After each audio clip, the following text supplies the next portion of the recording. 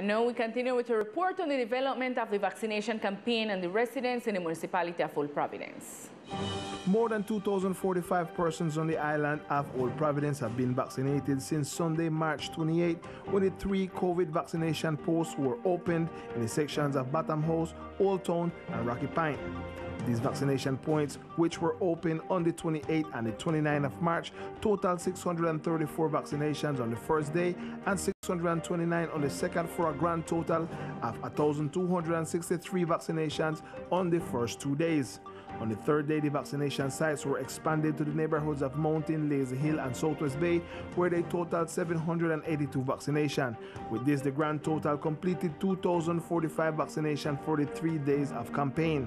At the closure of this emission, the authorities have not given today's statistics for the vaccination achievement. However, it was reported that the vaccinations will continue until Sunday in order to inoculate more persons in the municipality. And the construction of the classrooms that will serve as additional educational space for the Bombona and Boyaca educational centers is progressing in Southwest Bay. These are the first of 37 to be built for the educational institutions. This is how the construction of the first four temporary classrooms for the provision of educational services advances. It's being carried out by the Fund for Financing of Educational Infrastructure under the leadership of the Ministry of Education.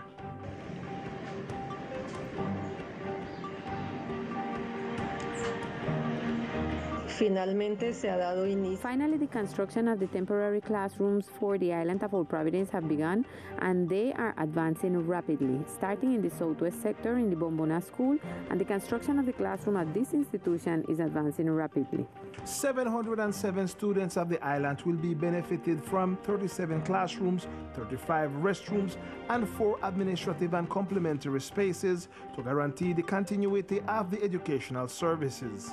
Las aulas temporales serán distribuidas. The temporary classrooms will be distributed in three groups for the three educational institutions.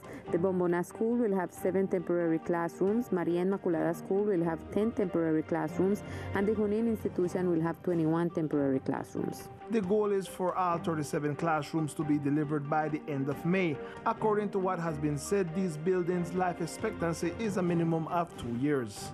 Se estima que la fecha de entrega para Bombona será. It is estimated that the delivery date for the Bombona classrooms will be April 7. Then, in two weeks' time, the ones for the Maria Inmaculada School will be delivered. This would be around April 24th. And lastly, the classrooms of the Junin Educational Institution will be delivered around May 24th. Each classroom will have a projected capacity for 30 students. An investment for this project exceeds 3,800 million pesos.